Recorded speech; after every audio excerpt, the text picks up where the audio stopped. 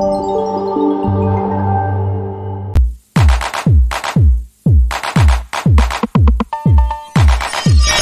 students, welcome again to another interesting tutorial. So this is our diagram we are going to draw the unit sign millimeters. So RX is represent RX is representing the front. Yes, so don't forget to subscribe. Click on the subscribe button and you get notified for more simplified tutorials. So let's start. So we are going to start by drawing. So you click on start drawing then from there you go here to unsaved view and you choose southwest isometric. Then you come here up and you choose realistic view. Yes, as you can see, then you can type in UCS icon command and you choose no origin. From there you go, you type units. So from units you come, you make sure that they're in zero precision and they're in millimeters. So you can press OK. So you type in limits. So lower limit is 0, comma 0 and the upper limit is 200 comma 200 enter. So 200 comma 200 enter. So you come to line command. Choose the start point. Make sure ortho mode is on.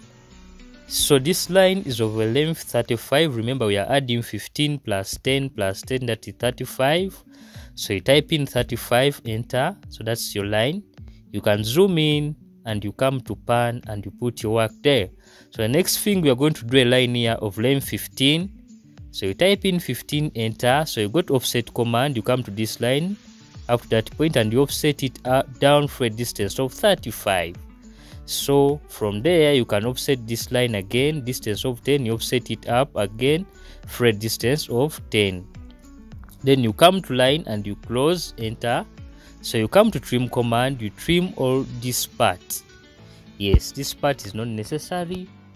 So from there you come here circle and you choose circle diameter. So you come to the midpoint here and draw a circle of diameter 15 you go back again and you choose circle diameter. You come to the midpoint you draw another circle of diameter 35 enter yes that's what we have. You go to trim command and you trim all these parts. They are not necessary. The next thing you go to line command come to the middle line and you do a line of length 75 millimeters enter you can escape. Then you come to this line and you offset it. So for a distance of 5 this side also 5 remember the overall distance is 10 so you go to trim command you trim this part this this this all this is not necessary so you can trim it off. Yes this is what we have. So you go to circle command. You come choose circle radius. So you come to this point. You draw a circle of radius. You type in 22.5 millimeters enter. You come again to circle radius. You choose this point and you draw in a circle of 12.5 millimeters enter.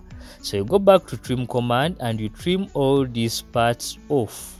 So trim that and trim that off. So this is what we have.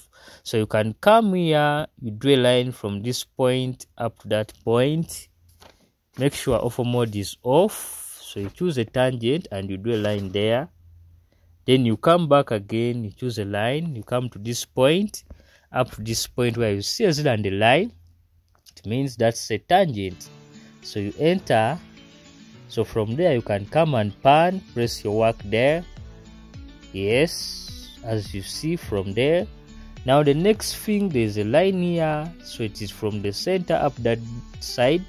Make sure ortho mode is on. That is a distance of 35 so you type in 35 enter. As you see then you come to offset. You offset this line remember this is 5 so you offset this side for a distance of 2.5 millimeters. You also offset it this side for a distance of 2.5 millimeters. So this side you also offset it for a distance of 13 15.5 you also offset it this side for a distance of 15.5 enter. Yes. So you come to line command you do a line from there up to there then enter. You also come back again to line you do a line from there to there enter. Now you can delete this line and you go back to trim command and you also trim all this part is not needed. So we are drawing from the top. This is what you'll be observing from the top. So now the next thing you go to what we call press pull command. So you press pull this part up for a distance of 15 you press pull this part up for a distance of 10 so there's an allowance of 5 you press pull this part up for a distance of 10 so you're going to press pull this part up for a distance of 45 enter. You press so before you press pull this you can rotate. And you come to press pull command. You press pull this part up for a distance of 45 or so enter.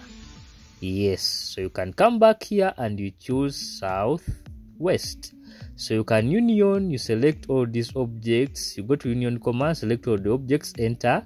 So you come to line command choose this point where you say box. Up to that point make sure ortho mode is off. You can switch it off up to that point enter. So you come to press pull and you press pull this part off. So you can pan and press your work there. So this is what we have so far now the next thing you can rotate your work. Come to press pull. Press pull this part you. Press pull it up for a distance of 30 enter. Also this part for a distance of 30 enter. You go to union command. You come you select the objects then enter. Then you can come go back to southwest isometric yes. So that's what we have so from there you come you choose this face. No. Come to face. Choose this face. Choose this face here. Enter. So from there you can switch the grids off. You are going to draw circles. So this circle here was already as 15 so you come you take it up for a distance of 15 yes. So you come to press pull command and you press pull this circle in for a distance of 13 enter. 13 enter. Then you can rotate this work up to there. Then you type in mirror so you are going to choose 3d mirror which is this one. So you choose select this object. You come to this point take your line there make sure so you make sure ortho mode is on. So delete source object choose no. As you see the object is mirrored to the other side. Come back choose this face enter. So you are going to draw here a hole. So you come here circle diameter then you choose this point diameter is 16 yes. So you're going to press pull this part out is a hole already created.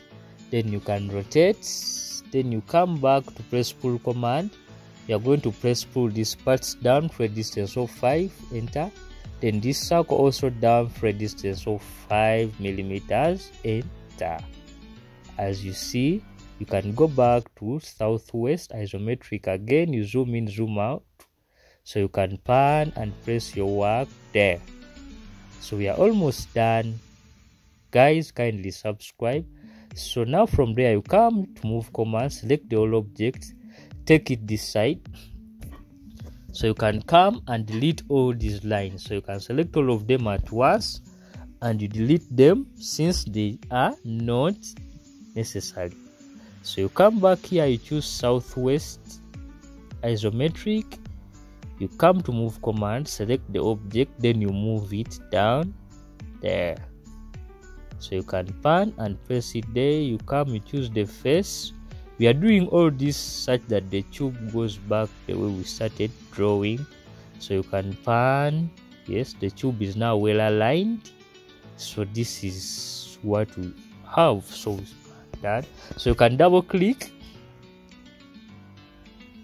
Then you choose come here layer then you choose the color you want. You can choose magenta you can choose purple then you come here and you choose hidden view. So you can pan and press your work there. So this is done